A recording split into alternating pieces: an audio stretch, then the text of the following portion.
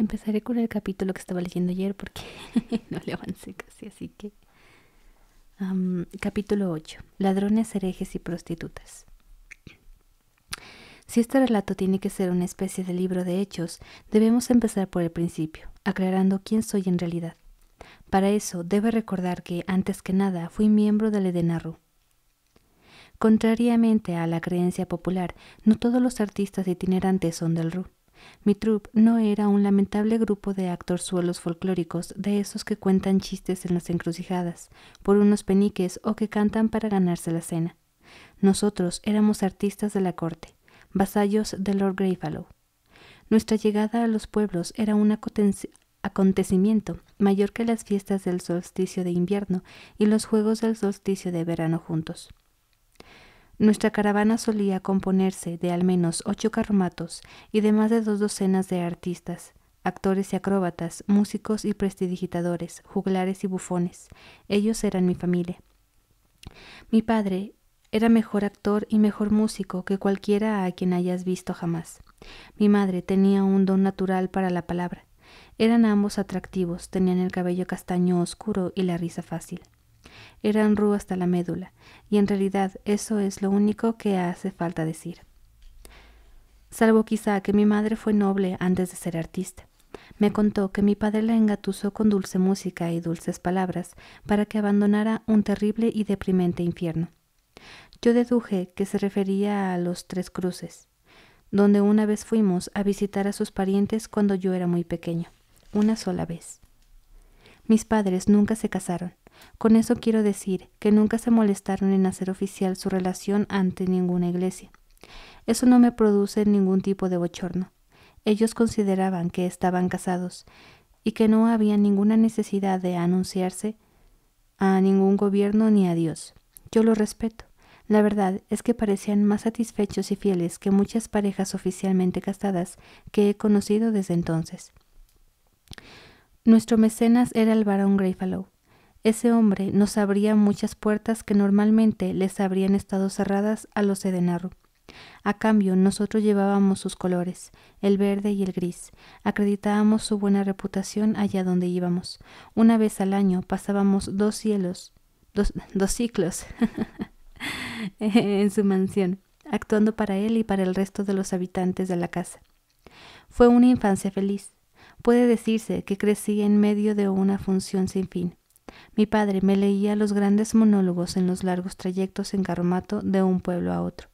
Los recitaba de memoria y su voz se oía desde más de medio kilómetro de distancia.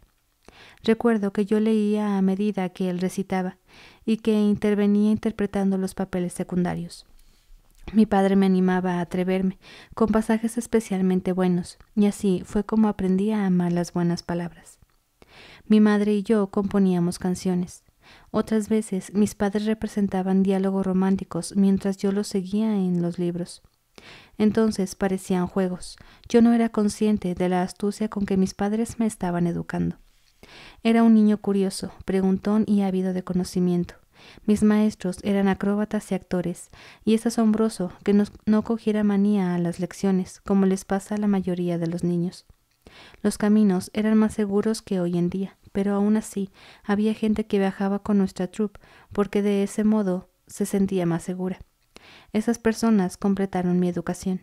Adquirí conocimiento rudimentario del derecho, de la mancomunidad de un abogado itinerante, demasiado borracho o demasiado pedante, para darse cuenta de que le estaba dando sermones a un niño de ocho años.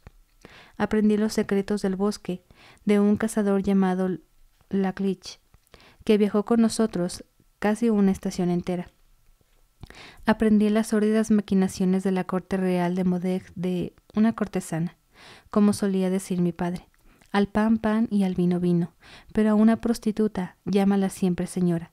La vida de las prostitutas es muy dura y no cuesta nada ser respetuoso con ellas. Etera olía a canela, y a los nueve años yo la encontraba fascinante, aunque sin saber exactamente por qué. Ella me enseñó que no debía hacer nada en privado de lo que no quisiera que se hablara en público, y me advirtió del peligro de hablar en sueños. Y luego vino Aventi, mi primer maestro de verdad. Él me enseñó más que todos los otros. De no ser por él, no me habría convertido en el hombre que soy hoy. Te agradecería que no me lo tengas en cuenta, porque él lo hizo con buena intención. Tendréis que marcharos de aquí, dijo el alcalde. Acampad fuera del pueblo, y nadie os molestará mientras no provoquéis peleas, ni os llevéis nada que no sea vuestro. Le lanzó una mirada elocuente a mi padre, y mañana os vais con viento fresco. Nada de representaciones, no causan más que problemas. Tenemos licencia, protestó mi padre sacando una hoja de pergamino doblada del bolsillo interior de la chaqueta. Es más, pagamos para actuar. El alcalde negó con la cabeza y ni se molestó en leer nuestro documento de, de mecenazgo. La gente se alborota, dijo vehemente.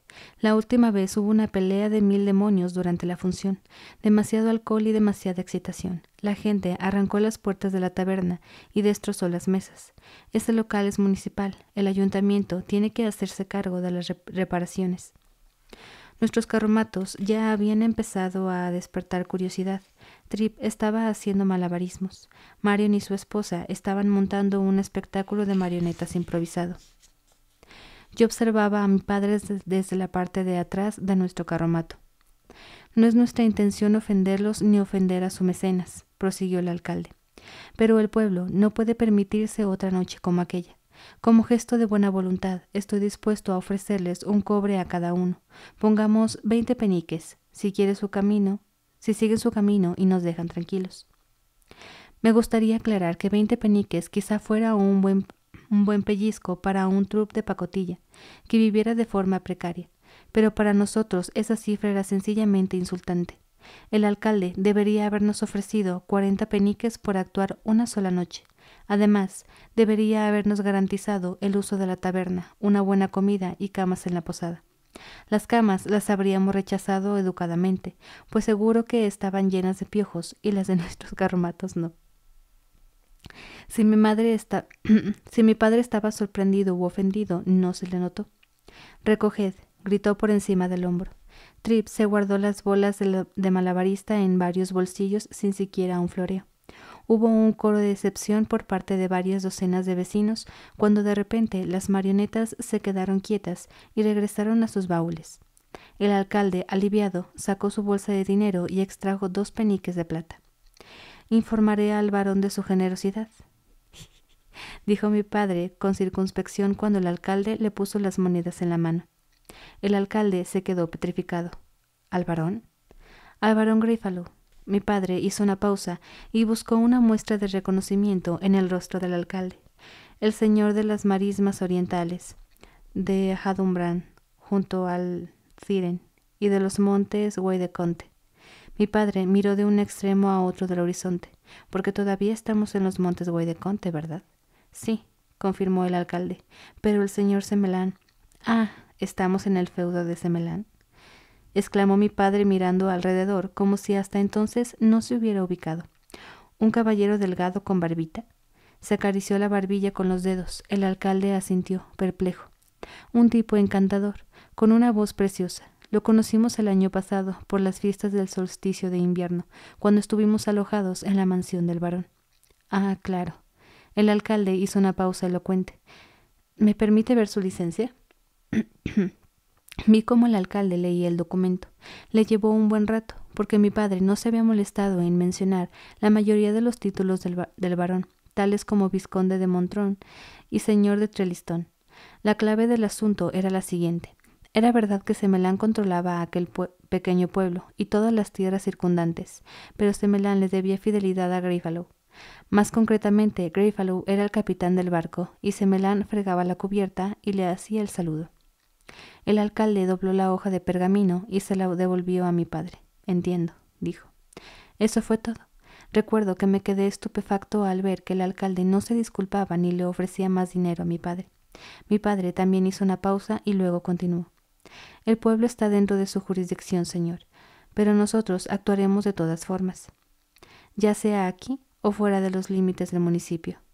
No pueden utilizar la taberna, dijo el alcalde con firmeza. No quiero que vuelvan a destrozarla. Podemos actuar aquí mismo, dijo mi padre señalando la plaza del mercado. Hay espacio suficiente y así la gente no tendrá que salir de la ciudad. El alcalde vaciló. Yo no podía creerlo. A veces, cuando el local público de un pueblo era demasiado pequeño, actuábamos en la plaza. Dos de nuestros carromatos podían convertirse en escenario en caso de necesidad, pero podía contar con los dedos de las manos las veces que, en mis once años de vida, nos habían obligado a actuar en la plaza, y nunca habíamos actuado fuera de los límites de un pueblo.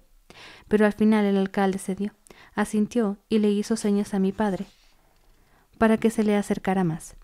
Salí con sigilo de la parte de atrás del carromato y me acerqué lo suficiente para oír el final de su conversación. Gente temerosa de Dios por estos lares, nada vulgar ni erótico. Con la última troupe que pasó por aquí tuvimos graves problemas. Hubo dos peleas, gente que perdió su colada y una de las hijas de los Branston se quedó en estado. Me sentí ultrajado. Esperé a que mi padre le mostrara a él, al alcalde su dominio de la ironía y que le explicara la diferencia entre los artistillos itinerantes y los edenarro. Nosotros no robábamos, no dejábamos que las cosas se descontrolaran tanto como para que una pandilla de borrachos destrozara el local donde actuábamos. Sin embargo, mi padre se limitó a asentir y volver hacia nuestro carromato. Le hizo señas a Trip para que siguiera haciendo malabarismo. Volvieron a sacar las marionetas de los baúles. Mi padre rodeó el carromato y me vio de pie, medio escondido junto a los caballos. Por la cara que pones, supongo que habrás oído toda la conversación, dijo con una sonrisa irónica. No se lo tengas en cuenta, hijo mío. No destaca por su elegancia, pero sí por su sinceridad. Solo ha dicho en voz alta lo que otros piensan y callan. ¿Por qué crees que os hago ir a todos por parejas cuando actuamos en ciudades más grandes? Yo sabía que mi padre tenía razón. Sin embargo, era un trago amargo para un niño de mi edad. Veinte peniques, dije en tono mordaz. Es como si nos ofreciera limosna. Eso era lo más difícil de creer en el Edenaru. Somos extraños en todas partes. Mucha gente nos ve como vagabundos y mendigos, mientras que otros nos comparan con ladrones, herejes y prostitutas. Es duro que te acosen injustamente, pero aún es peor cuando los que te miran con desprecio son unos soquetes que jamás han leído un libro ni han ido a ningún sitio que esté más de treinta kilómetros de su pueblo natal. Mi padre rió y me alborotó el cabello. Debería sentir lástima por él, hijo. Mañana nos iremos, pero él tendrá que convivir consigo mismo hasta el día de su muerte. Es un ignorante y un cretino, dije con amargura. Mi padre me puso una mano firme en el hombro para darme a entender que ya había hablado suficiente. Supongo que eso nos pasa por acercarnos demasiado a Atur. Mañana nos dirigiremos hacia el sur. Allí hay verdes pastos, gente más amable y mujeres más hermosas ahuecó una mano alrededor de una oreja e inclinó hacia el carromato y me hincó un codo en las costillas. Lo estoy oyendo todo, dijo mi madre con voz dulce desde el interior. Mi padre sonrió y me guiñó un ojo. Bueno, ¿qué obra vamos a representar? Pregunté a mi padre. Nada vulgar, por supuesto. La gente de por aquí es muy temerosa de Dios. Me miró. ¿Qué te gustaría? Lo pensé largo rato. Yo representaría algo del ciclo Campo Luminoso la forja del camino o algo por el estilo. Mi padre hizo una mueca. No es una obra muy buena. Me encogí de hombros. No lo van a notar.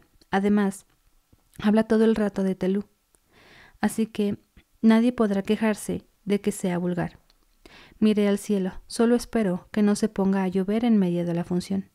Mi padre también miró las nubes. Lloverá. Pero hay cosas peores que actuar bajo la lluvia. ¿Cómo actuar bajo la lluvia y que, y que te timen? Pregunté. El alcalde vino hacia nosotros. Caminaba tan aprisa como se le permitían las piernas. Tenía la frente perlada de sudor y resoplaba un poco, como si hubiera recorrido una larga distancia. He estado hablando con unos miembros del ayuntamiento y hemos decidido que, si lo preferís, podéis utilizar la taberna. Ah, no, que no, perro. Empleando con maestría el lenguaje no verbal, mi padre dejó clarísimo que estaba ofendido, pero que era demasiado educado para manifestarlo. De verdad que no quisiera causarle. No, no, no es ninguna molestia. Es más, insisto. Muy bien, si insiste usted. El alcalde sonrió y se marchó apresuradamente. Bueno, eso está un poco mejor, dijo mi padre, dando un suspiro. De momento no tendremos que apretarnos el cinturón. Medio penique por cabeza. Eso es, lo que no tengo cabeza, los que no tengan cabeza entran gratis. Gracias, señor. Trip se ocupaba de la entrada y se aseguraba de que todo el mundo pagara para ver la obra. Medio penique por cabeza, aunque a juzgar por el rosado brillo de sus mejillas, señora, debería cobrarle por una cabeza y media, pero eso no es asunto mío. Trip era el miembro de la troupe con más labia, y eso lo convertía en el candidato idóneo para la tarea de asegurarse de que nadie entrara sin pagar. Era imposible engatusarlo o acobardarlo.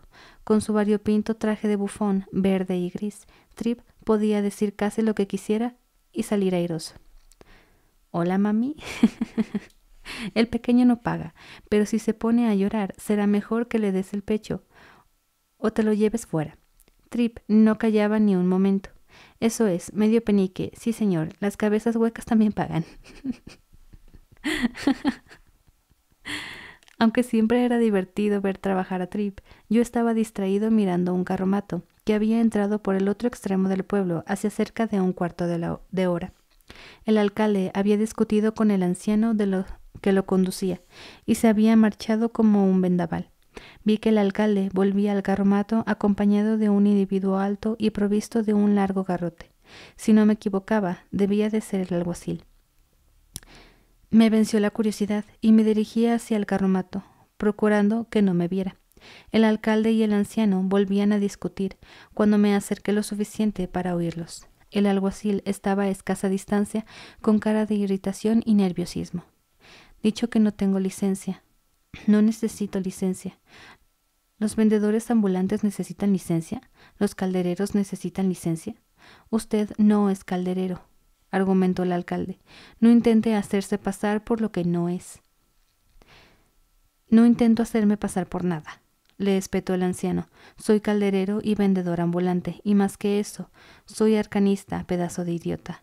Con más razón, dijo el alcalde obstinado. Por aquí somos temerosos de Dios, no queremos saber nada de gente que tontea con cosas oscuras que es mejor dejar en paz. Los de su clase solo causan problemas. Los de mi clase, repitió el anciano. ¿Qué sabe usted de los de mi clase? Seguramente hace cincuenta años que no pasa ningún arcanista por aquí. Y nos gusta que sea así. Dé media vuelta y márchese por donde ha venido y un cuerno. No pienso pasar la noche bajo la lluvia por culpa de un cazurro como usted, dijo el anciano muy acalorado. No necesito su permiso para alquilar una habitación ni para hacer negocios en la calle. Y ahora, déjeme en paz o comprobará de primera mano el tipo de problemas que podemos causar los de mi clase. el miedo pasó fugazmente por el semblante del alcalde, pero la indignación lo sustituyó rápidamente. Le hizo una seña al alguacil y dijo en ese caso, pasará la noche en el calabozo por vagancia y conducta amenazadora. Lo soltaremos por la mañana, si es que ha aprendido a dominar su lengua. El alguacil fue hacia el carromato con el garrote al lado del cuerpo. Sin moverse de donde estaba, el anciano levantó una mano. Una intensa luz roja surgió de las esquinas delanteras de su carromato. Ya hay suficiente, dijo en tono amenazador. Si no, las cosas podrían ponerse feas.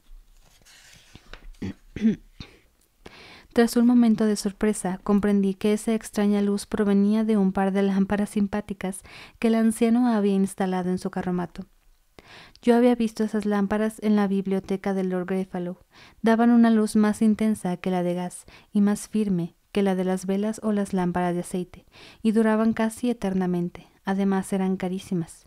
Habría apostado a que en aquel pueblo nadie había oído hablar de ellas ni las había visto jamás y el alguacil se paró en seco cuando la luz empezó a intensificarse, pero como no parecía que pasara nada, apretó la mandíbula y siguió andando hacia el carromato.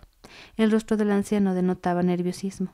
Espere un momento, dijo al mismo tiempo que la luz roja del carromato empezaba a apagarse. No me gustaría que... Cierre el pico, viejo charlatán. Le cortó el alguacil.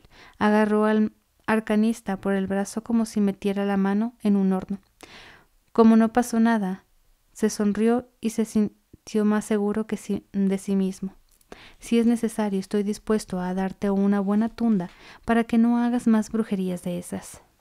Así se hace, Tom, terció el alcalde, que rebosaba de alivio. Llévatelo. y ya enviaremos a alguien a buscar el carromato. El alguacil sonrió y le retorció el brazo al anciano. El arcanista se dobló por la cintura y dolorido dejó escapar un grito ahogado. Agazapado en una esquina, vi que la expresión del anciano pasaba del nerviosismo al dolor y a la rabia en solo un segundo, y le vi mover los labios. Una violenta ráfaga de viento surgió de la nada, como si de pronto, sin previo aviso, hubiera estallado una tormenta. El viento sacudió el carromato del anciano, que se levantó sobre dos ruedas, para luego caer de golpe sobre las cuatro. El alguacil se tambaleó y cayó al suelo, como si lo hubiera derribado la mano de Dios. Incluso donde yo estaba escondido, casi a diez metros de distancia, el viento era tan fuerte que tuve que dar un paso adelante, como si me estuvieran empujando bruscamente por la espalda. Fuera de aquí, chilló furioso el anciano. No me atormentes más. Le prenderé fuego a tu sangre y te invadirá un miedo como el hielo y duro como el hierro. Esas palabras me resultaron vagamente familiares, pero no sabía de qué me sonaban. El alcalde y el alguacil se dieron la vuelta y echaron a correr, con los ojos abiertos y enloquecidos como caballos espantados. El viento cesó con la misma rapidez con que había empezado a soplar. La ráfaga no debió de durar más de cinco segundos. Como la mayoría de los vecinos se habían congregado frente a la taberna, no creí que nadie lo hubiera visto excepto yo, el alcalde y el alguacil, y los asnos del anciano, que estaban completamente quietos e imperturbables con sus aparejos, en sus aparejos, perdón. Dejad este lugar limpio de vuestra repugnante presencia, masculló el arcanista mientras los veía marchar. Por el poder de mi nombre ordeno que así sea. Entonces comprendí por qué sus palabras me resultaban tan familiares. El anciano estaba recitando unos versos de la escena del exorcismo de eh, Daeónica. Poca gente conocía esa obra. El anciano se volvió hacia su carromato y empezó a improvisar. Os convertiré en mantequilla en un día de verano, os convertiré en poetas con alma de sacerdotes, os llenaré de crema de limón y os arrojaré por una ventana. Escupió en el suelo, cabrones. Se le fue pasando el enfado y dio un hondo y cansado suspiro. Bueno, podría haber sido mucho peor, murmuró mientras se frotaba el hombro del brazo que el alguacil le había retorcido. ¿Creéis que volverán con una turda detrás? Al principio pensé que el anciano me lo decía a mí, pero entonces me percaté de que estaba hablando con sus asnos. Yo tampoco, les dijo, pero ya me he equivocado otras veces. Quedémonos cerca de los límites del pueblo y echémosle un vistazo a la avena que nos queda, ¿de acuerdo? Subió al carromato por la parte de atrás y reapareció un momento más tarde con un gran cubo y un saco de arpillera casi vacío. Vació el saco en el cubo y el resultado pareció desanimarlo. Separó un puñado de avena para él antes de acercarles el cubo a los asnos con el pie.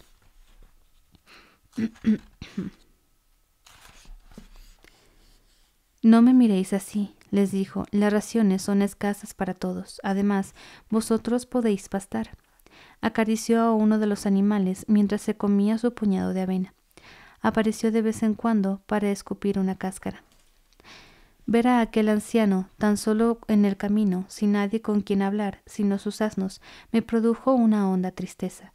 La vida también era dura para los Edenarru, pero al menos nosotros,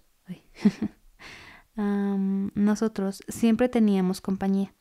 Aquel hombre, en cambio, no tenía a nadie. Nos hemos alejado demasiado de la civilización, chicos. Los que me necesitan no confían en mí, y los que confían en mí no pueden pagarme. El anciano miró en el interior de su bolsa de dinero, con los ojos entrecerrados. Tenemos un penique y medio, de modo que nuestras opciones son limitadas. ¿Qué, qué, qué queremos? Estoy escuchando ruidos yo muy raros.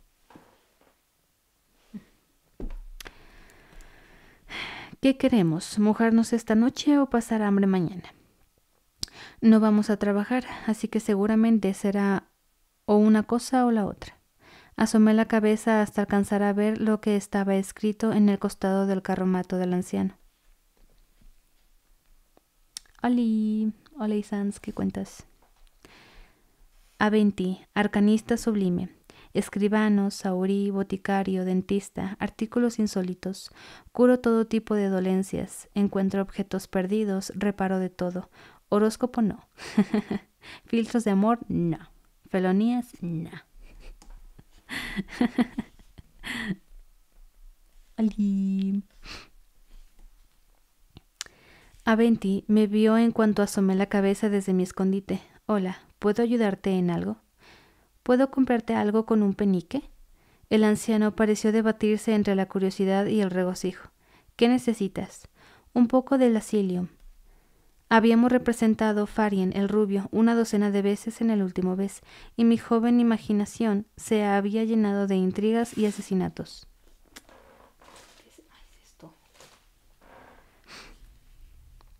Eh, asesinatos. ¿Temes que te envenenen? inquirió él con cierto asombro. No, no es eso, pero me parece que si esperas hasta el momento en que sabes que necesitas un antídoto, seguramente ya es demasiado tarde para buscarlo. Creo que puedo venderte un penique del asilio, dijo. Equivaldrá a una dosis para una persona de tu tamaño, pero es un producto peligroso. Solo cura ciertos venenos. Si lo tomas equivocadamente puede hacerte daño. Ahí va, dije. Eso no lo sabía. En la obra lo ofrecían como panacea infalible. Aventi se dio unos golpecitos en los labios con un dedo, pensativo. Mientras tanto, ¿puedes contestarme una pregunta? Asentí. ¿De quién es esa troupe? Mía, en cierto modo, respondí. Pero por otra parte es de mi padre, porque él dirige el espectáculo y señala el camino por donde tienen que ir los carromatos. Pero también es del barón Greyfallow, porque él es nuestro mecenas. Somos vasallos del Lord Greyfallow. El anciano me miró, risueño. He oído hablar de vosotros. Sois una buena troupe, con muy buena reputación. Asentí, pues me pareció absurdo aparentar modestia. ¿Crees que a tu padre podría interesarle un poco de ayuda? me preguntó. No soy un gran actor, pero podría serle útil. Podría prepararos maquillaje y carmín sin plomo. Mercurio ni arsénico, eso, eso, sería. Eso sería muy, muy bueno. También sé hacer luces rápidas, limpias y brillantes, de diferentes colores, si queréis. No tuve que pensármelo mucho. Las velas eran caras y vulnerables a las corrientes del aire, y las antorchas eran sucias y peligrosas. Y todos los miembros de la troupe aprendían los peligros de los cosméticos a edad muy temprana. Resultaba difícil convertirse en un artista anciano y experimentado si cada tres días te pintabas con veneno y acababas loco de atara antes de haber cumplido veinticinco años. Quizá me esté precipitando, dije tendiéndole una mano para que me la estrechara. Pero permítame ser el primero en darle la bienvenida a la troupe. Ah, qué, qué buena onda el, el.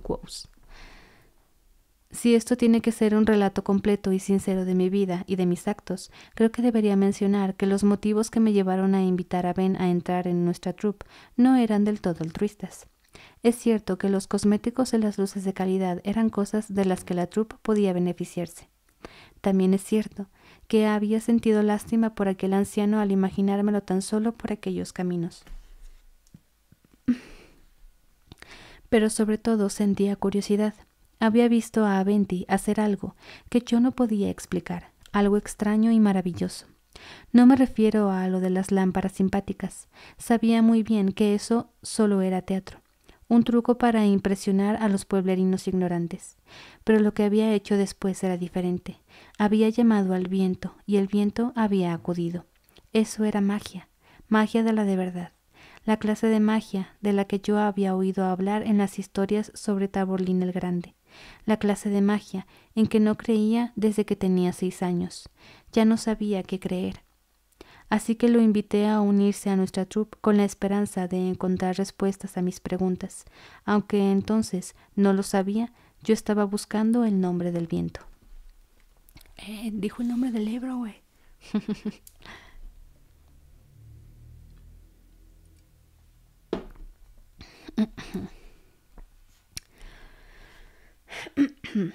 Capítulo 9. En el carromato de Ben. Aventi fue el primer arcanista que conocí, una figura extraña y emocionante para un niño tan pequeño como yo.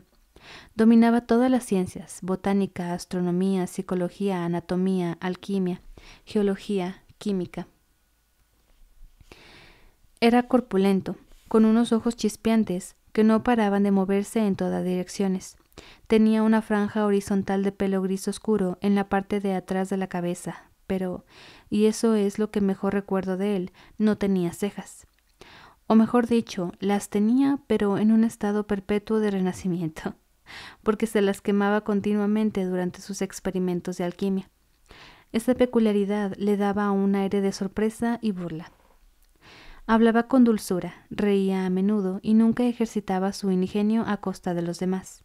Maldecía como un marinero borracho con una pierna rota, pero solo a sus asnos. Los animales se llamaban Alfa y Beta, y a Venti les daba zanahorias y terrones de azúcar cuando creía que nadie lo veía. La química era su disciplina favorita, y mi padre aseguraba que jamás había conocido a nadie que manejara mejor el alambique. Cuando Aventi solo llevaba un par de días en la troupe, yo ya tenía por costumbre viajar en su carromato. Le hacía preguntas y él me las contestaba. Luego él me pedía que le cantara canciones y yo las tocaba con una luz que había tomado prestado del carromato de mi padre. De vez en cuando incluso cantaba. Tenía una potente voz de tenor y siempre desafinaba, buscando las notas donde no correspondía. Casi siempre que pasaba eso, paraba y se reía de sí mismo. Era un buen hombre y nada engreído. Un día, poco después de conocerlo, le pregunté a Aventi qué se sentía cuando se era un arcanista. Me miró atentamente. ¿Conoces a algún arcanista? preguntó. Una vez pagamos a uno que encontramos en el camino para que nos arreglara un eje roto. Hice una pausa para pensar. Se dirigía al interior con una caravana de pescado. Aventi hizo una demanda de desdén. No, no, chico. Me refiero a un arcanista de verdad y no a un pobre hechicero de tres al cuarto que se gana la vida por las rutas y de las caravanas tratando de impedir que la carne se pudra. ¿Qué diferencia hay? Pregunté, intuyendo que eso era lo que se esperaba de mí. Bueno, repuso él, me llevaría tiempo explicártelo. Tengo todo el tiempo del mundo. Aventi me miró como evaluándome. Yo estaba esperando esa mirada. Era la clase de mirada que decía. Hablas como si fueras mayor de lo que aparentas. Confiaba en que lo asumiera deprisa. Resulta tedioso que se hablen como si fuera un niño, aunque lo seas. Aventi respiró hondo. El que uno sepa hacer un par de trucos no significa que sea un arcanista. Hay gente que sabe arreglar un hueso roto o leer víntico éldico Quizá hasta practican un poco de simpatía, pero... ¿Simpatía? Le interrumpí con todo el respeto del que fui capaz. Supongo que tú lo llamas magia. Dijo a Aventi de mala gana, pero en realidad no lo es. Se encogió de hombros y continuó. Pero aunque practiques la simpatía, eso no te convierte en arcanista. Un verdadero arcanista es el que ha estudiado el arcano en la universidad. Cuando mencionó el arcano, se me ocurrieron una docena de preguntas más. Quizá pienses que no son muchas, pero si las añades a las cincuenta preguntas que yo llevaba conmigo a todas partes, comprendían que estaba a punto de explotar. Hice un gran esfuerzo para permanecer callado, porque quería que Aventi continuara el sol. Aventi, sin embargo, se percató de mi reacción. Veo que has oído hablar del arcano, ¿no? Parecía hacerle gracia. A ver, explícame lo que te han contado. Ese pequeño apunte era la única excusa que yo necesitaba.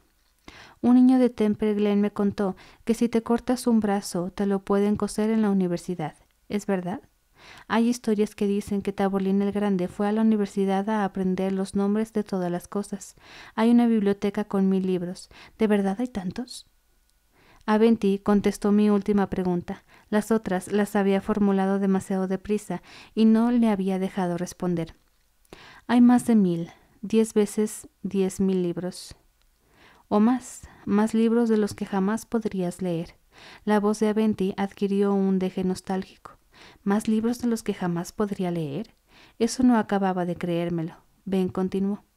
La gente que ves viajando en las caravanas, como hechiceros que hacen que la comida no se estropee, sauires, adivinos, embaucadores, ellos no son verdaderos arcanistas, igual que todos los artistas itinerantes no son del Edenarro.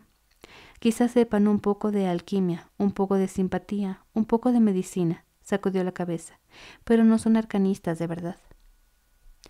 ¿De qué trata el libro? Perdón de interrumpirte. Mira, eh, yo estoy descubriéndolo también. Pero es una, una historia. A ver, déjame ver si hay aquí un, una sinopsis. Porque es que yo nunca suelo leer la sinopsis de los libros. Pero déjame ver si, si aquí tiene sinopsis del libro, que debería de. Mm. El nombre del viento, el debut literario de Patrick Rothfuss y el primer volumen de la trilogía Crónica del asesino de reyes, ha convertido a su autor por su maestría en narrador. No, esto, es, esto habla del autor. Aquí desde su publicación, en una posada en tierra de nadie, un hombre se dispone a relatar por primera vez la auténtica historia de su vida, una historia que únicamente él conoce y que ha quedado diluida tras los rumores, las conjeturas y los cuentos de taberna que lo han convertido en un personaje legendario, a quien todos daban ya por muerto. Quoth, bueno, Quoth, eh, músico, mendigo, ladrón, estudiante, mago, héroe y asesino. Ahora va a revelar la verdad sobre sí mismo, y para ello debe empezar por el principio, su infancia en una troupe de artistas itinerantes, los años malviviendo como un ladronzuelo en una gran ciudad, y su llegada a una universidad donde esperaba encontrar todas las respuestas que había estado buscando.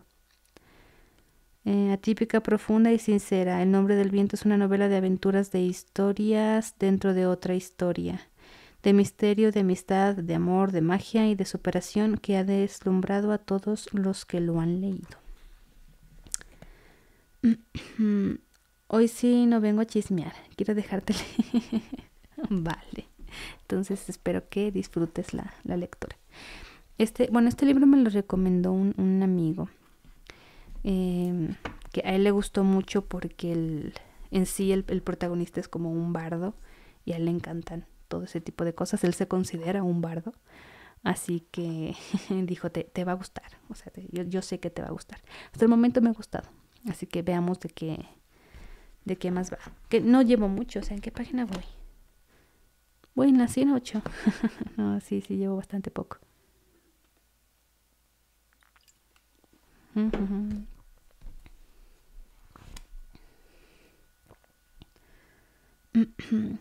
Parece como si fuera un libro tipo Mago de Oz, ¿no? Pareciera. Mm, eso, es que eso es fantasía. Este es un... Mm, ¿Cómo decirlo? Pues que no, sé si entra en lo de fantasía épica o la, fantasía como más... Mm, y más... Este como la clásica, muy, o sea, yo leo esto y me imagino todo muy tipo Dungeons and Dragons, o bueno, Calabozos y Dragones, así, muy, muy de ese tipo de, ambiente, ¿no? De lugares con tabernas y, y monstruos en el bosque y así, y bardos y magos y, y cosillas por el estilo. Me da esos vibes, sí, sí, más o menos. Mm. ¿Dónde me quedé? Hay mucha gente que asegura hacerlo, lleva túnica y se dan muchos aires para aprovecharse de los ignorantes y de los ingenuos. Pero te voy a decir cómo puedes reconocer a un verdadero arcanista. Aventi se quitó una fina cadena que llevaba colgada del cuero y me la dio. Del cuero, ¿eh? Del cuello. y me la dio. Era la primera vez que yo veía un florín de arcano. No llamaba mucho la atención, solo era un trozo plano de plomo, como una extraña inscripción grabada. Eso es un verdadero florín, o florín si lo prefieres. Florín, no, no sé cómo se pronuncia esa otra palabra. Me explicó Aventi con cierta satisfacción. Es la única forma infalible de saber quién es y quién no un arcanista. Tu padre me pidió que le enseñara el mío antes de dejarme viajar con vuestra troupe. Eso demuestra que es un hombre de mundo. Me miró con astucia indiferente. Eh, incómodo, ¿verdad? me aguanté y asentí con la cabeza. La mano con que había cogido el florín se me había dormido. Sentía curiosidad por examinar las inscripciones de la, del anverso y el reverso, pero pasados unos segundos se me había dormido el brazo hasta el hombro, como si me hubieran recostado sobre la noche, toda la noche sobre él. Me pregunté si se me dormiría todo el cuerpo si seguía sujetándolo. No tuve ocasión de comprobarlo, porque el carromato pasó por un bache y se me cayó el florín de Aventi de la mano. El anciano lo atrapó al vuelo y volvió a colgárselo del cuello, riendo. ¿Cómo lo soportas? pregunté, y me froté la mano entumecida para recuperar la sensibilidad. Solo le produce ese efecto a los demás, me explicó. Su propietario solo nota calor. Así es como se diferencia a una arcanista de alguien que tiene un don para encontrar agua o para predecir el tiempo. Trip tiene algo parecido, dije. En todas las tiradas saca siete. Eso es porque tiene los dados cargados. Eso es un poco diferente, dijo Aventi riendo. No es tan inexplicable como un don se recostó un poco más en el asiento y probablemente sea también más seguro. Hace doscientos años uno podía darse por muerto si la gente sospechaba que tenía un don. Los teolinos lo consideraban señales diabólicas y quemaban a la gente que los tenía. Se puso serio. Nosotros hemos tenido que sacar a Trip de la cárcel un par de veces, dije tratando de aligerar el tono de la conversación, pero nadie ha intentado nunca quemarlo.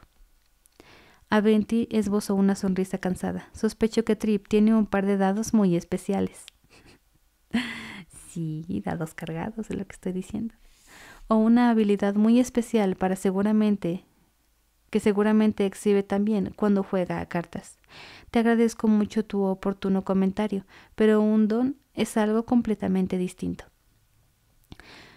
No soporto que me traten con condescendencia. Trip no haría trampas ni para salvarse el cuello. Dije con más aspereza de la que pretendía, y todos los miembros de la troupe saben distinguir unos dados buenos de unos dados amañados. Trip saca siete, no importa qué dados use, siempre saca siete. Si hace una apuesta con alguien, saca siete. Si tropieza con una mesa sobre la que hay unos dados, marcan un siete. Avente asintió. Te pido disculpas. Eso sí parece un don. Me gustaría verlo. Asentí. Coja sus propios dados. Hace años que no le dejamos jugar. Entonces se me ocurrió una cosa. Quizá ya no funcione. Aventi se encogió de hombros.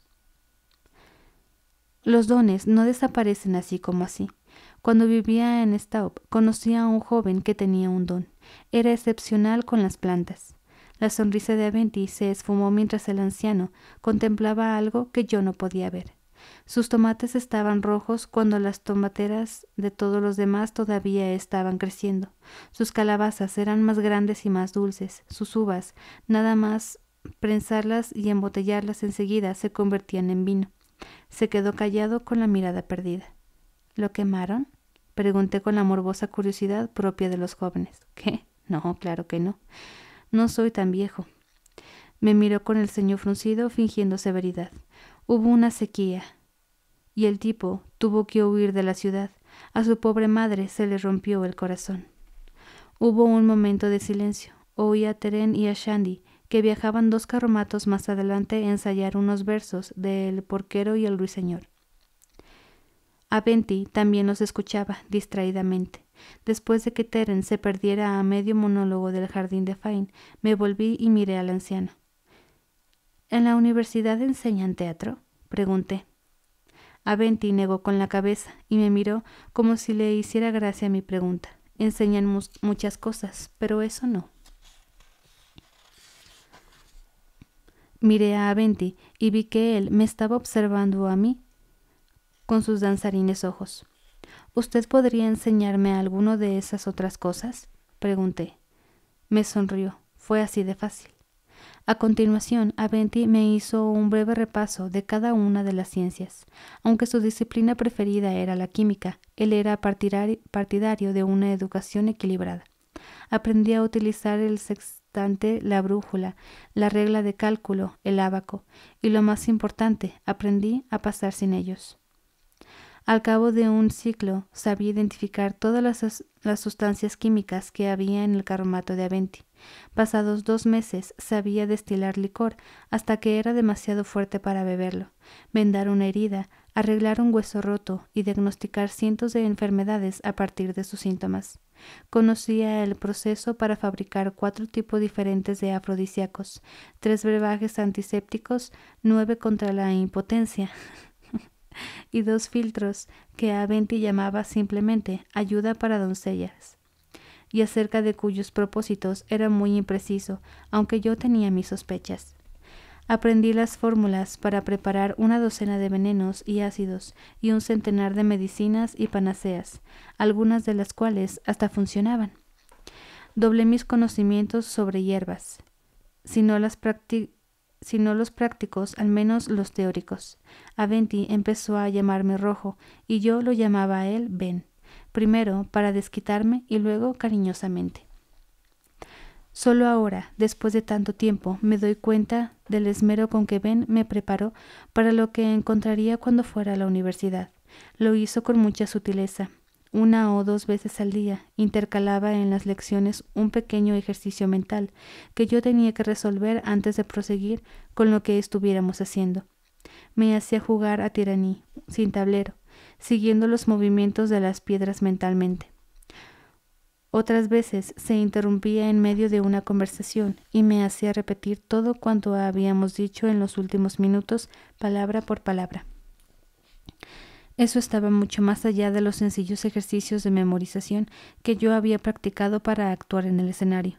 Mi cerebro estaba aprendiendo a trabajar de una manera diferente y se estaba fortaleciendo. Mentalmente me sentía como se siente el cuerpo después de un día cortando leña o nadando o en la cama con una mujer. Te sientes agotado, lánguido y casi divino.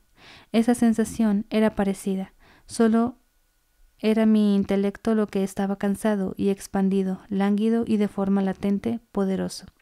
Notaba cómo mi mente empezaba a despertar. A medida que progresaba, iba ganando impulso, como cuando el agua empieza a desmoronar un dique de arena. No sé si entiendes el concepto de progresión geométrica, pero esa es la mejor, mejor descripción, eh, mejor manera de describirlo, perdón. Mientras tanto, Ben seguía enseñándome ejercicios mentales que yo sospechaba que inventaba por pura maldad. Ah, mira qué bonito dibujo.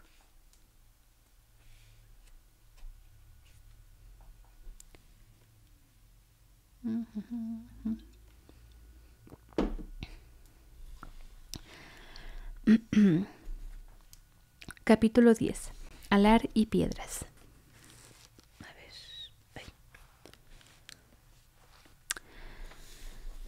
Ben cogió del suelo un pedrusco, algo más grande que su puño. ¿Qué pasará si suelto esa piedra? Pensé un poco. Las preguntas aparentemente sencillas que surgían durante las lecciones casi nunca eran sencillas. Al final di la respuesta obvia. Probablemente caerá. Ben arqueó una ceja. Llevaba varios meses entretenido con mi educación y no había tenido muchas ocasiones de quemárselas. Probablemente. Hablas como un sofista, hijo. ¿Acaso no cae siempre una piedra cuando la sueltas? Le saqué la lengua. No intentes liarme. Eso es una falacia. Tú mismo me lo has enseñado. Ben sonrió. De acuerdo. ¿Te parece bien decir que crees que caerá? Sí, me parece bien. Quiero que creas que cuando la suelte caerá hacia arriba. Su sonrisa se ensanchó. Lo intenté. Era como hacer gimnasia mental. Al cabo de un rato hice un gesto de sentimiento. Vale. ¿Estás convencido? No mucho, admití. Quiero que creas que esta piedra flotará. Tienes que creerlo. Con una fe capaz de sacudir árboles y de mover montañas. Hizo una pausa y cambió de táctica. ¿Crees en Dios? ¿En Telú? Más o menos. Eso no basta. ¿Crees en tus padres? Esbocé una sonrisa. A veces. Ahora no los veo. Ben dio un resoplido y cogió la vara que utilizaba para espolear a Alfa y a Beta cuando se ponían vagos. ¿Crees en esto, Elir? Solo me llamaba Elir cuando consideraba que mi actitud era excesivamente obstinada. Levantó la vara para que yo la inspeccionara. Había un destello de malicia en sus ojos. Decidí no tentar a la, a la suerte. Sí, bien. Golpeó el costado del carromato con la vara, produciendo un fuerte crack. Al oír el ruido, Alfa torció una oreja. No estaba segura de si iba dirigido a ella o no. Ay, pobrecita. Esa es la clase de fe que necesito. Cuando suelte esa piedra, saldrá flotando, libre como un pájaro. Blandió un poco la vara. Y no me vengas con filosofías de pacotilla, o haré que te lamentes de haberte aficionado a esos jueguecillos. Asentí con la cabeza, puse la mente en blanco, mediante uno de los trucos que ya había aprendido, y me concentré en creer. Empecé a sudar. Pasados unos diez minutos, volví a hacer un gesto de asentimiento. Ben soltó la piedra que cayó al suelo. Empezó a dolerme la cabeza. Ben recogió la piedra. ¿Crees que ha flotado? No. Me froté las sienes enfurruñado. Bien, no ha flotado. Nunca te engañes y percibas cosas que no existen. Ya sé que es una tentación, pero la simpatía no es un arte para los débiles de voluntad. Volvió a coger la piedra. ¿Crees que flotará? No ha flotado. No importa. Inténtalo otra vez. Agitó la piedra. El alar es la piedra angular de la simpatía. Si pretendes imponerle tu voluntad al mundo, debes controlar tu capacidad de creer. Lo intenté y lo intenté. Era lo más difícil que había hecho que había hecho jamás. Me llevó casi toda la tarde. Al final, Ben consiguió soltar la piedra y que yo mantuviese mi firme creencia de que no caería, pese a que todo indicara lo contrario. Oí el golpe de la piedra contra el suelo y miré a Ben.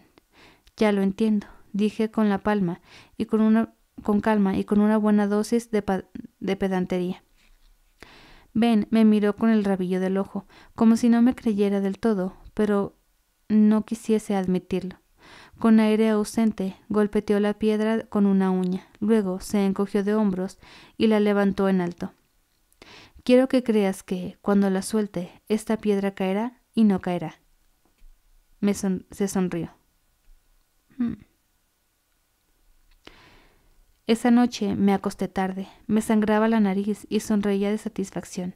Mantuve ambas creencias en mi mente y dejé que su disonancia me calmara hasta quedarme dormido. Pensar en dos cosas distintas a la vez, además de resultar asombrosamente eficaz, era muy parecido a cantar uno mismo las dos voces de una canción. Se convirtió en uno de mis juegos favoritos. Después de dos días practicamos podía cantar un trío. Poco después había conseguido el equivalente mental a hacer desaparecer cartas y hacer malabarismo con puñales. Hubo muchas lecciones más, pero ningún resultado tan fundamental como la del alar. Ben también me enseñó el corazón de piedra, un ejercicio mental que te permitía apartar tus emociones y tus prejuicios y pensar con lucidez en lo que quisieras. Ben aseguraba que un hombre que dominara la verdad y el corazón de piedra podía ir al funeral de su hermana sin derramar ni una sola lágrima. También me enseñó un juego llamado Buscar la piedra. El juego consistía en hacer que una parte de tu mente escondiera una piedra imaginaria en una habitación imaginaria. Luego, otra parte de tu mente tenía que encontrarla. En la práctica, mediante esa técnica se desarrolla un valioso control mental. Si aprendes a jugar, a buscar la piedra, consigues un alar duro como el hierro, que es lo que necesitas para practicar la simpatía. Sin embargo, aunque pensar en dos cosas a la vez resulte enormemente útil, el entrenamiento que se precisa para dominar esa habilidad es cuando menos frustrante y a veces muy perturbador. Recuerdo una ocasión en que busqué la piedra durante casi una hora antes de consentir en preguntarle a la otra mitad de, mí dónde la había escondido. Pues bien, resulta que no había escondido la piedra, Solo quería saber cuánto rato buscaría antes de rendirme. ¿Alguna vez has estado a la vez enfadado y contento contigo mismo?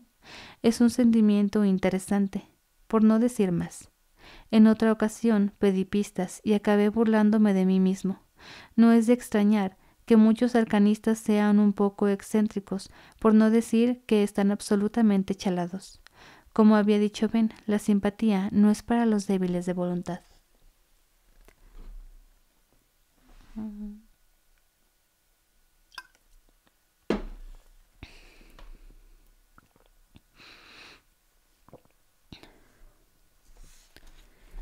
Capítulo 11. El vínculo de hierro. Estaba sentado en la parte de atrás del carromato de Aventi. Era un lugar maravilloso para mi tierna mente, con centenares de botellas y paquetes, impregnado de un millar de olores. Por lo general, lo encontraba más divertido que el carro de un calderero. Sin embargo, ese día estaba muy desanimado. La noche anterior había llovido mucho y el camino se había convertido en un lodazal. Como la troupe no tenía ningún programa determinado, habíamos decidido esperar un par de días y dejar que los caminos se secaran.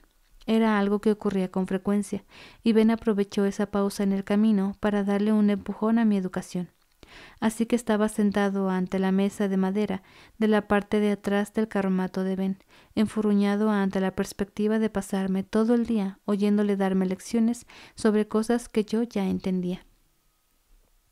Mis pensamientos debían de reflejarse en mi cara, porque Abendi suspiró y se sentó a mi lado. No es exactamente lo que esperabas, ¿verdad? Me relajé un poco, porque sabía que ese tono significaba un aplazamiento temporal de la lección. Ben cogió un puñado de drabines de hierro que había sobre la mesa y los juntó con cuidado. Entonces me miró. ¿Sabrías hacer malabarismo con todos a la vez? ¿Y con cinco pelotas? ¿Y con cuchillos? Me ruboricé un poco. Recordé que al principio Trip ni siquiera me dejaba probar con tres pelotas a la vez. Me hacía practicar con dos y se me habían caído un par de veces. Se lo dije a Ben. Muy bien, repuso él. Cuando aprendas ese truco, podremos pasar a otro. Pensé que iba a levantarse para continuar con la lección, pero no lo, hizo. Me mostró el puñado de drabines de hierro. ¿Qué sabes de estos objetos? Los hizo sonar con las manos. ¿En qué sentido? pregunté. ¿Físicamente? ¿Químicamente? ¿Históricamente? Históricamente. Ben sonrió. Sorpréndeme con tus conocimientos de nimiedades históricas, Elir. En una ocasión le había preguntado qué significaba Elir, y Ben me había contestado que significaba el sabio pero por la forma en que había torcido la boca al decirlo, yo tenía mis dudas. Hace mucho tiempo, el pueblo que... ¿Cuánto tiempo? Fruncí el ceño y lo miré con acritud. Unos dos mil años. Los pueblos nómadas que deambulaban por las estribaciones de los montes Shalda se reunieron bajo el mando de un jefe. ¿Cómo se llamaba? Heldred. Sus hijos se llamaban Elim y Eldar. ¿Quieres que te recite todo el linaje o puedo ir al grano? Pregunté mirándolo a los ojos. Discúlpeme, señor. Ben se enderezó en el asiento y adoptó una expresión de embeleso que nos hizo sonreír a ambos. Proseguí. Eldred acabó controlando las estribaciones que rodean los montes Shalda. Eso significaba que controlaba también las montañas. Empezaron a cultivar la tierra, abandonaron su estilo de vida nómada y poco a poco empezaron a... ¿Eso es ir al grano? preguntó Aventi. Tiró los dragines en la mesa delante de mí. Lo ignoré lo mejor que pude. Controlaban la única fuente de metal abundante y fácilmente accesible en muchos kilómetros a la redonda, y pronto se convirtieron también en los trabajadores más diestros de esos metales. Explotaron esa ventaja y obtuvieron gran cantidad de riquezas y poder. Hasta ese momento, el trueque era el sistema más habitual de comercio. Había ciudades más grandes que acuñaban su propia moneda. Pero fuera de esas ciudades, el dinero solía, solo valía el peso del metal. Las barras de metal eran mejores para el trueque, pero resultaba incómodo transportarlas. Ben me miró con su mejor cara de alumno aburrido. el efecto solo quedó ligeramente inhibido por el hecho de que, un par de días atrás, había vuelto a quemarse las cejas. No irás a entrar en los méritos de la moneda figurativa, ¿verdad? Inspiré hondo y me propuse no chinchar tanto a Ben durante las lecciones. Los hasta entonces nómadas, que en aquellos tiempos ya recibían el nombre de Sealdimos, Sealdimos fueron los primeros en establecer una moneda estandarizada. Si cortas una de esas barras pequeñas en cinco partes, obtienes cinco drabines. Empecé a decir a dos, empecé a hacer dos pilas de cinco drabines para ilustrar mi explicación. Parecían pequeños lingotes de metal. Diez dablines equivalen a una iota de cobre. Diez iotas, muy bien, intervino Ben cuando yo no lo esperaba. De modo que estos dos drabines cogió un par y me los acercó para que los examinara. Podrían proceder de la misma barra, ¿no? Bueno, seguramente los fundieron por separado. Me callé al ver la severa mirada de Ben. Sí, claro. Entonces, todavía hay algo que los conecta, ¿no? Volvió a traspasarme con la mirada. Yo no estaba de acuerdo, pero sabía que no era el momento adecuado para interrumpir. Sí. Ben dejó los dos drabines en la mesa. Así pues, cuando mueves uno, el otro también debería moverse, ¿no? En aras del argumento le di la razón. Luego alargué la mano para mover uno pero Ben detuvo mi gesto negando con la cabeza. Antes tienes que recordárselo, dijo. En realidad, antes tienes que convencerlos. Cogió un cuenco y levantó y levemente vertió en él una gota de resina de pino. Mojó uno de los drabines en la resina y lo juntó con el otro. Pronunció unas palabras que no identifiqué y poco a poco separó las dos piezas. La resina se estiró entre los dos eh, drabines formando unos filamentos. Ben dejó una moneda en la mesa y se quedó la otra en la mano. Entonces murmuró unas palabras más y se relajó. Levantó la mano y la moneda que estaba encima de la mesa imitó su movimiento. Ben agitó la mano y la pieza de hierro marrón empezó a moverse en el aire. Dejó de mirarme y miró la moneda. La ley de la simpatía es uno de los fundamentos de la magia. Establece que cuando más parecidos son dos objetos, mayor es su relación simpática. Cuando mayor es la relación, más fácilmente se influencia uno a otro. Tu definición es circular. Dejó la moneda en la mesa. La máscara de profesor de Ben dio paso a una sonrisa mientras el arcanista intentaba, sin mucho éxito, limpiarse la resina de las manos con un trapo. Cabiló un rato y dijo No parece muy útil, ¿verdad? no, la verdad.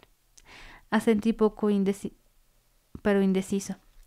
Las preguntas con trampa eran muy comunes cuando estábamos estudiando. ¿Preferirías aprender a llamar al viento?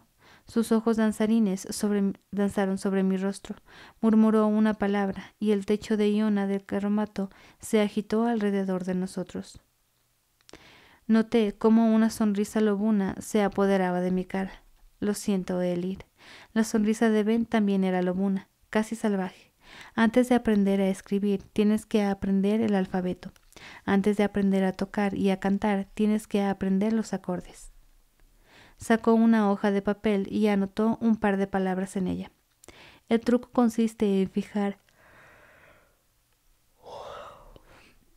en fijar el alar con firmeza en tu mente.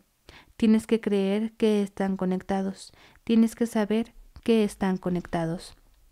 Me dio la hoja. Aquí tienes la transcripción fonética. Se llama vínculo simpático del movimiento paralelo. Práctica. Practica. Viejo, entrecano y sin cejas, cada vez se parecía más a un lobo. Fue a lavarse las manos. Vacié mi mente mediante el corazón de piedra. Al cabo de unos instantes me sentí flotar en un mar de desapasionada calma. Enganché las dos monedas de metal con resina de pino. Fijé el alar en mi mente y me concentré en la inquebrantable creencia de que aquellos dos drabines estaban conectados. Pronuncié las palabras, separé las monedas, dije la última palabra y esperé. No sentí ninguna oleada de poder, no sentí frío ni calor, no descendió sobre mí ningún rayo de luz. Estaba muy decepcionado, es decir, todo lo decepcionado que podía estar con el corazón de piedra. Levanté la mano con una eh, levanté la mano, perdón, imitando el movimiento de la otra. Era magia, de eso no cabía ninguna duda, pero me quedé muy impasible. Yo esperaba, no sé qué esperaba, pero desde luego algo muy diferente. Pasé el resto del día experimentando con el sencillo vínculo simpático que Aventi me había enseñado. Aprendí que se podía unir casi todo, un drabín de hierro y un talento de plata, una piedra y un trozo de fruta, dos ladrillos, un tarrón y un asno. Tardé unas dos horas en comprender que no necesitaba la resina de pino. Cuando se lo comenté a Ben, él admitió que la resina solo era una ayuda para la concentración. Creo que le sorprendió que lo hubiera averiguado por mis propios medios. Déjame resumir, de hecho, eh, de manera breve, el concepto de simpatía, dado que seguramente tú nunca necesitarás tener más que una vaga comprensión de cómo funcionan esas cosas. en primer lugar, la energía no puede crearse ni destruirse, solo se transforma. Cuando levantas un drabín y el otro se levanta, él, eh, solo de la mesa, el que tienes en la mano pesa como si los estuvieras levantando a los dos, porque en realidad lo estás haciendo. Eso es la teoría. En la práctica notas como si estuvieras levantando tres drabines. Ningún vínculo simpático es perfecto. Cuanto más diferentes son los objetos, más energía se pierde en el proceso. Imagina un acueducto. Un acueducto que pierde agua y que conduce a una, a una noria. Un buen vínculo simpático tiene muy pocas pérdidas y aprovecha la mayor parte de la energía. Un mal vínculo está lleno de agujeros. Solo unos pequeños parten del esfuerzo que pones en ello eh, va hacia lo que tú quieres hacer.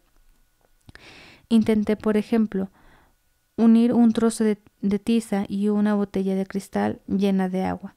Había muy poca similitud entre los dos objetos, así que, aunque la botella de agua pesara un kilo cuando intenté levantar la tiza, me pareció que pesaba veinticinco. El mejor vínculo que encontré fue el de una rama que había partido por la mitad. Cuando hube comprendido ese ejercicio, Ben me, me enseñó otros, docenas de vínculos simpáticos, un centenar de pequeños trucos para canalizar la fuerza. Cada uno de ellos era una palabra diferente del vasto vocabulario que yo estaba empezando a conocer. Muchas veces era tedioso. No te lo cuento con más detalles para no aburrirte. Ben seguía dándome lecciones de otras disciplinas, historia, aritmética y química. Sin embargo, lo que más me interesaba era la simpatía. Ben compartía sus secretos con moderación y se había y ¿qué? y me había em, me hacía demostrarle que dominaba uno antes de pasar al siguiente. Pero por lo visto yo tenía un don, más allá de mi afición natural a absorber conocimiento, de modo que nunca tenía que esperar demasiado. ¿Cuánto me falta?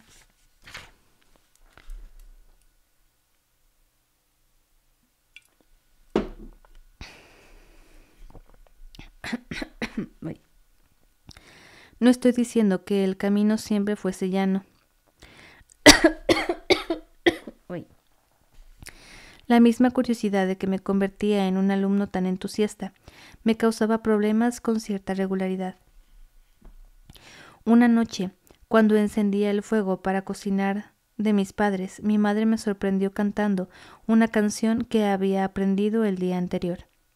No me había percatado de que mi madre estaba detrás de mí, así que se quedó escuchándome mientras yo golpeaba un leño contra otro y distraído recitaba. Siete cosas guarda Lady Lackless bajo su negro vestido. Un anillo que no es para ponerse, una palabra que es casi un gemido. Junto al cirio de su esposo hay una puerta sin pomo. Es una caja sin tapa ni candado. Encierra Lacles las piedras de su amado. Ella tiene un secreto guardado, que sueña en vez de dormir sin tardanza, por un camino que no es, el trillado. Lady Lacles lía su adivinanza. Se le había oído cantar a una niña que iba por la calle dando saltitos. Solo la había oído dos veces, pero se me había quedado grabada. Era una canción pegadiza, como casi todas las canciones infantiles. Mi madre me oyó y se acercó al fuego. ¿Qué era eso que cantaba, cielo? No lo dijo con enfado, pero me di cuenta de que tampoco estaba contenta. Es una canción que oí en Fallows, contesté de manera evasiva. Tenía prohibido jugar con los niños de los pueblos por los que pasábamos. La desconfianza se convierte rápidamente en aversión. Subraya mi padre a los nuevos miembros de la troupe. Así que cuando estemos en un pueblo, eh, manteneos juntos y sed educados. Pues unos troncos más gruesos en el fuego, y dejé que las llamas los acariciaran. Mi madre se quedó un rato callada, y cuando yo ya empezaba a pensar que no seguiría insistiendo, me dijo No me gusta esa canción. ¿Te has parado a pensar en su significado? La verdad era que no. Parecía un poemilla sin sentido, pero cuando la repetí mentalmente caí en la cuenta de que encerraba claras alusiones sexuales. No, no lo había pensado. Su expresión se suavizó un tanto, y se agachó para acariciarme el cabello. Ah, la juventud tan, tan inocente.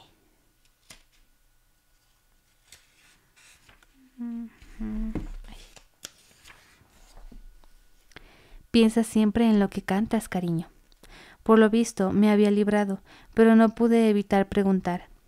¿Qué diferencia hay con algunos pasajes de después de tan larga espera? Es como cuando Faín le pregunta a Lady Perial por su sombrero.